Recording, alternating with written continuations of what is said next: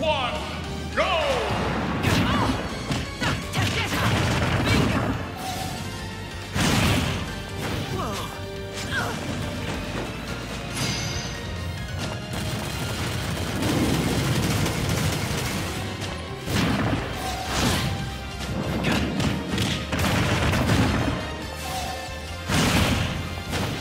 If you need to learn how